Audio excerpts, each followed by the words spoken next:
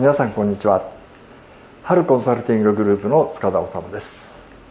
今回からは社会人基礎力、えー、人生100年時代を生き抜く力社会人基礎力の重要性これから学んでいきたいと思っております。まず皆さん方は社会人基礎力という、えー、この言葉を、えー、ご存知でしょうか、はい、初めて聞くという方も多いと思います。耳にはしたけれどもその内容についてはわからないという方もいらっしゃると思います、はい、ただですから、えー、まず社会人基礎力。それって何だろうというところから始めたいと思っております。社会人基礎力とは、えー、経産省が2006年から提唱する概念です。で主体性やコミュニケーション能力など、えー、職場で多様な人々と仕事をしていくために必要な基礎的能力と定義されております。すなわち社会で活躍するために必要な基礎的能力のことを言います。さらに言い換えるならば社会で生き抜く力。これがベースになければ社会で生き抜けない。人生100年時代を生き抜けない生き抜くための力であると、え私は考えます。ではどのような力なんでしょうか。まずはこのページでざっくりと見てまいりましょう。社会人基礎力というのはこの3つの能力と12の能力要素から構成されています、えー、まず3つの能力。これが前に踏み出す力です、はい、そして、えー、2つ目の能力。考え抜く力です。考える力ではない。考え抜く力です、はい、そして3つ目。チームで働く力、はい、コミュニケーション能力の高め方とか、えー、話す力聞く力などがあります、えー、この3つの能力と、えー、ここに書いてある12の能力要素。これで構成されているということです。じゃあもう少し細かく見ていきましょう、えー、まず前に踏み出す力。アクション。としましょう。一歩前に踏み出し失敗しても粘り強く取り組む力のことを言います。その能力要素には主体性物事に取り組む進んで取り組む力。それと働きかけ力。他人に働きかけ巻き込む力。それと実行力。目的を設定し確実に行動する力のことを言いまあいいやなんて諦めてはいけません。では、えー、考え抜く力疑問を持ち考え抜く正解のない時代です。その中で自分なりに正解を見つけ出していかなければならない。それのためには考える力ではなく考え抜く力が必要です、はい、では具体的にどういうものがあるかっていうのをちょっと見てみましょう。課題発見力。現状を分析し目的や課題を明らかにする力。計画力。課題の解決に向けたプロセスを明らかにし準備する力です。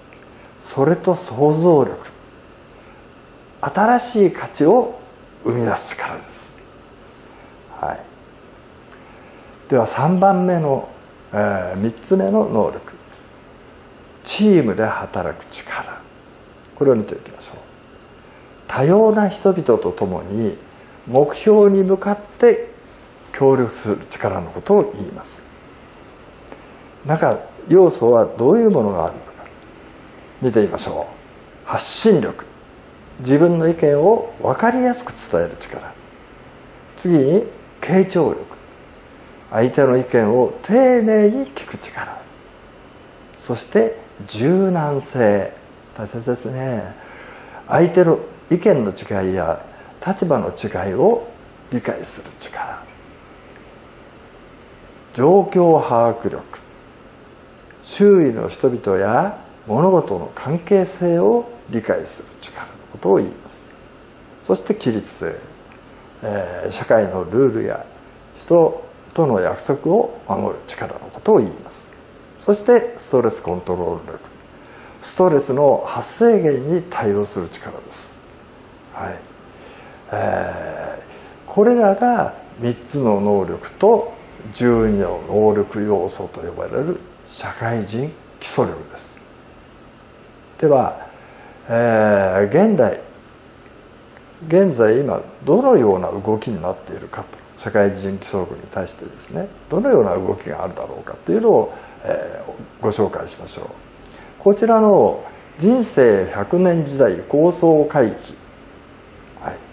における社会人基礎力、えー、2017年9月安倍首相を議長として人生100年時代構想会議が発足しました。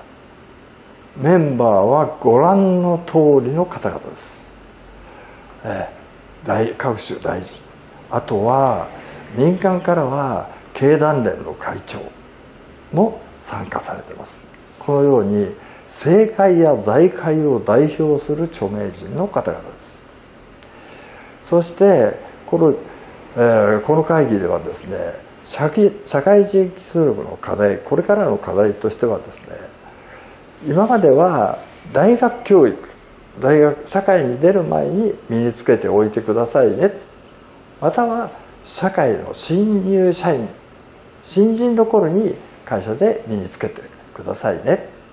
という限られた世代の方を中心に考えてきましたと、えー、これに対してこの会議では人生100年時代に対応するための資質や能力としてこの社会人基礎力を全ての年代が身につけるべきと提案してます。